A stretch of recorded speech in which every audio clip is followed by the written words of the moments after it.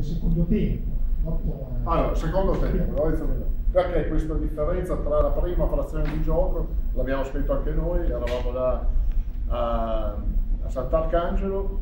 e, è stata evidente questa disparità diciamo, di prestazioni. La bocca leggermente abbassata di Minotti mi dice no, non sono d'accordo. No, non sono totalmente d'accordo, nel senso che secondo me sono stati espressi dei giudizi troppo severi e affrettati. Perché questo dobbiamo... è un altro argomento.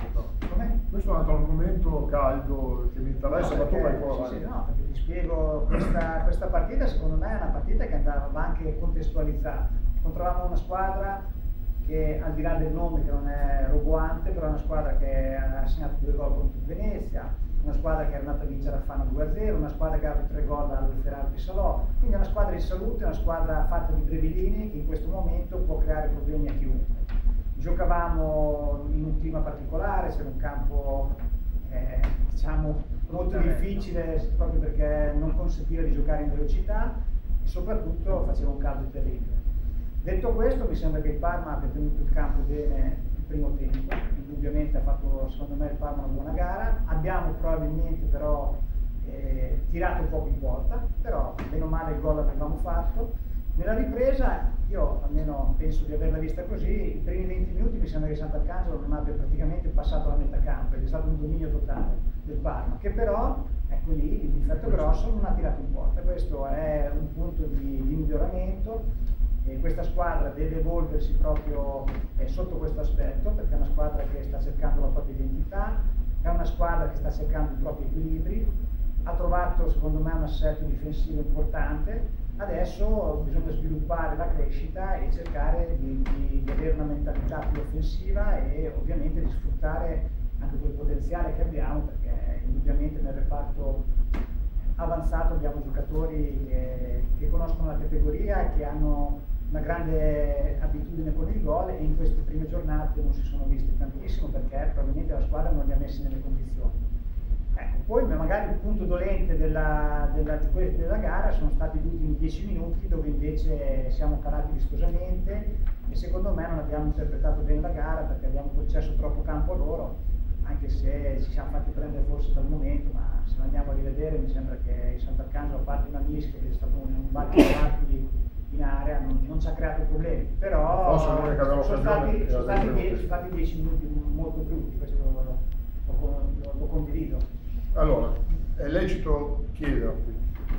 cos'è che non funziona, visto che i tuoi sforzi sono stati concentrati soprattutto nel prendere due barra tre grandi attaccanti che dovrebbero garantire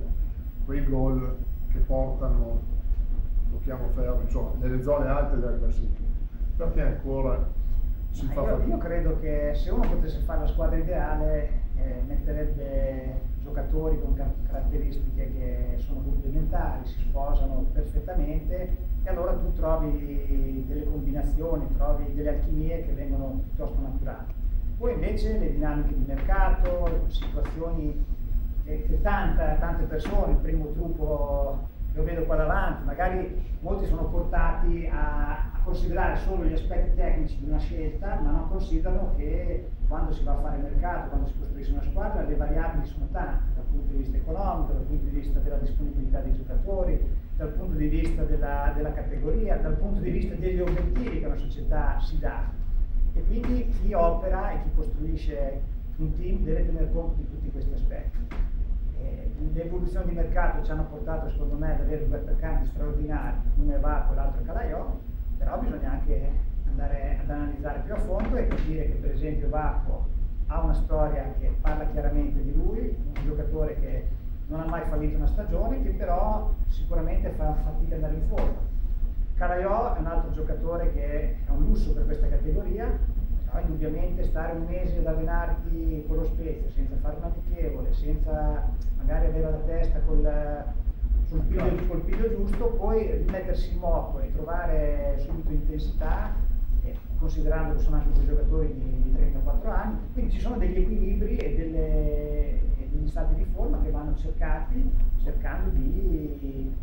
così, curare bene le relazioni, i rapporti, lo spogliatoio, ci sono tanti aspetti che, che vanno messi sul, sul tavolo. Non dimentichiamoci che Evacuo ha fatto due panchine consecutive che forse nessuno si immaginava. Noi quando facciamo le probabili formazioni credo che l'abbiamo sempre messo in campo, invece Apolloni evidentemente sulla No, scorta. ma io credo che alla fine cioè, la squadra è stata costruita per avere Marco e Calaiò in campo, però sappiamo anche che poi abbiamo tanti altri giocatori che hanno altre caratteristiche e soprattutto due attaccanti così te li puoi permettere quando la squadra avrà eh, una- un'identità tattica ben precisa, quando la squadra avrà una condizione atletica importante, per cui ci arriveremo per gradi, però questo era tutto, credo, abbastanza prevedibile e quindi io non farei troppo allarmismo, è normale che eh, tutti noi ci aspettavamo magari di poter partire con qualche punto in più, però i No, segnali ma- positivi ci sono e eh, due punti dal- dalla vetta mi sembra. Eh, Allora, anche i tifo- i tifosi della Allora, eh, aspetta, metto in allarme i miei colleghi giornalisti perché su quello che dicono i tifosi non chiedo tanto a Lorenzo, ma vorrei proprio che voi tre